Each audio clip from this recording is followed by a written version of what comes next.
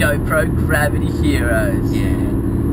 Today, where are we going? Yeah, well, today we're going to head out to Repton Road. It's a place we haven't skidded on our trucks before. So yeah, we're going to go check it out.